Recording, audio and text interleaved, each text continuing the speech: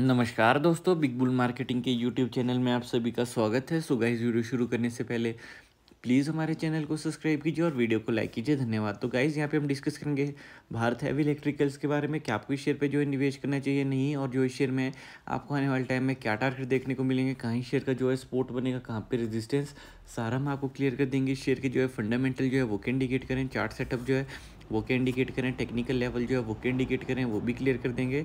तो गाइज़ अगर आप जो इस शेयर में निवेशक है, निवेश करने की सोच रहे तो वीडियो जो तक ज़रूर देखेगा।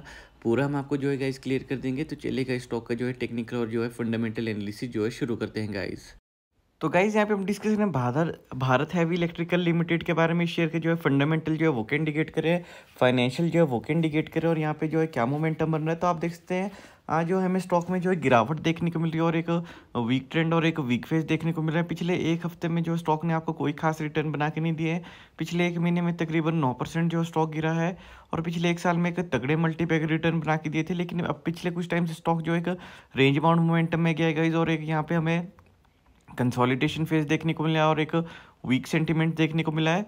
तो गाइज़ अभी अभी को पता है मार्केट भी थोड़ा कंसोलिडेशन फ़ेज़ में और खासकर डिफेंस सेक्टर जो है वहाँ पे हमें थोड़ा वीक सेंटीमेंट और एक वीक ट्रेंड देखने को मिल रहा है एक डाउनवर्ड ट्रेंड और एक डाउनवर्ड ट्रेजेक्ट्री जो हमें स्टॉक में बनती हुई दिख रही है। तो मैं आपको यही राय दूँगा और मेरी आपको यही सलाह रहेगी भारत है, हैवी इलेक्ट्रिकल्स में अभी जो है थोड़ा टाइम जो है कंसोलिडेशन फ़ेज़ चल सकता है थोड़ा वीक सेंटीमेंट चल सकता है। पिछले जो स्टॉक्स के फंडामेंटल्स है वो भी जो है काफ़ी ठीक है।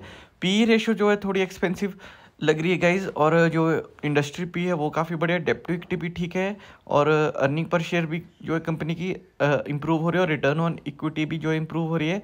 फाइनेंशियल्स की बात करें तो रेवेन्यू ग्रोथ कंपनी की बढ़िया है. प्रॉफिट मार्जिन में जो गिरावट इस बार हमें देखने को मिली, उसकी वजह से जो है स्टॉक में थोड़ा वीक सेंटीमेंट बना है, थोड़ी वैल्यूएशन भी महँगी हुई थी, जिसकी वजह से अभी यहाँ पे जो थोड़ा रेंज बाउंड मोमेंटम है, थोड़ा वीक सेंटीमेंट है। तो आने वाले टाइम में इन्हें काफ़ी बड़े बड़े प्रेस्टिजियस ऑर्डर मिलेंगे कहीं ऐसा कुछ नहीं है। लेकिन अभी जो ये शेयर थोड़ा वीक पड़ेगा, और थोड़ा वीक सेंटीमेंट और थोड़ा वीक ट्रेंड हमें जो इस शेयर में देखने को मिलेगा। लेकिन आने वाले टाइम में ये शेयर आपको अच्छे खासी रिटर्न बना के देगा, और कोई भी कमी आपको जो इसमें देखने को नहीं मिलेगी। इन्हें काफ़ी बड़े बड़े ऑर्डर मिले, इनके ऑर्डर बुक काफ़ी स्ट्रॉन्ग है, और काफ़ी प्रेस्टिजियस ऑर्डर जो इनके वहाँ हैं। तो मैं आपको यही राय दूँगा, भारत इलेक्ट्रिक हैवी इलेक्ट्रिक्स में अभी आपको थोड़ा जो है पेशेंस रखना पड़ेगा और थोड़ा long term point of view से बैठना पड़ेगा। ये शेयर आपको आने वाले टाइम में जो है 400 से 500 की टारगेट ज़रूर बना के देगा। लेकिन अभी जो है यहाँ पे आपको थोड़ा वीक सेंटीमेंट थोड़ा वीक ट्रेंड जो है देखने को मिल सकता है। तो guys long term point of view से अभी शेयर में बैठिए short term point of view से शेयर को अभी अवॉइड कीजिए। लॉन्ग टर्म में ये शेयर आपको अच्छे खासे पैसे कमा के देगा और पाँच तक के टारगेट इसमें लॉन्ग टर्म में हमें देखने को मिल जाएँगे। तो गाइज़ कोई भी अपडेट आते हैं स्टॉक से रिलेटेड हम आपको बता देंगे। तो चलिए अब इसका चार्ट सेटअप आपको एक्सप्लेन करते हैं।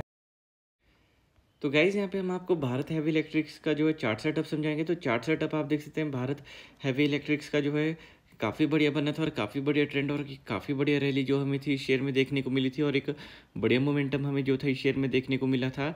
और यहाँ पे आप देख सकते हैं स्टॉक में जो था काफ़ी बढ़िया जो था मूव बना था, लेकिन शेयर यहाँ पे आप देख सकते हैं अब थोड़ा कंसोलिडेट कर है।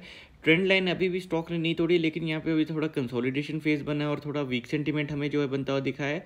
तो गाइज़ अभी मैं आपको यही राय दूँगा जो इनका क्वार्टरली रिज़ल्ट आया था, उसमें जो है इनका लॉस पोस्ट हुआ था, जिसकी वजह से यहाँ पे अभी जो है स्टॉक थोड़ा हमें वीक पड़ रहा, पड़ता हुआ दिख रहा है थोड़ा जो है यहाँ पे वीक ट्रेंड और एक वीक सेंटीमेंट हमें देखने को मिल रहा है। और ऊपर से गाइज़ वैल्यूएशन भी थोड़ी एक्सपेंसिव थी तो अपर लेवल में हमें थोड़ी पूरी प्रॉफिट बुकिंग भी देखने को मिली। तो मैं आपको यही राय दूँगा और मेरी आपको यही सलाह रहेगी। भारत हैवी इलेक्ट्रिकल्स में, अभी आप जो है as a long term investor ही बैठे as a short term trader नहीं। क्योंकि अगर आप as a long term investor बैठेंगे, तभी आप जो इस शेयर में पैसा कमाएँगे as a short term trader नहीं। क्योंकि अभी यहाँ पे आपको एक कंसोलिडेशन फ़ेज़ और एक वीक सेंटीमेंट और एक वीक ट्रेंड हमें देखने को मिलेगा।